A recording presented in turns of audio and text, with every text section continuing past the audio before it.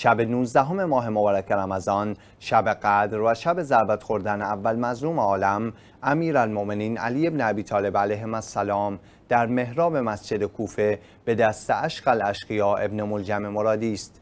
به گزارش شیعه ویوز شیعیان در گوشه و کنار جهان در شب گذشته ضمن حضور در مجالس مختلف با برپایی مراسم احیا به مناجات پرداخته و در سالگرد ضربت خوردن حضرت امیرالمؤمنین علیه السلام به عزاداری می‌پردازند.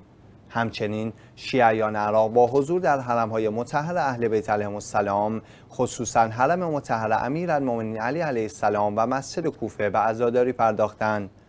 در ایران نیز هرچند حرمهای متحر در شهرهای مقدس مشهد و قم به صورت نیمه باز پذیرای زائران است اما برپایی عزاداری با محدودیت های فراوانی روبروست.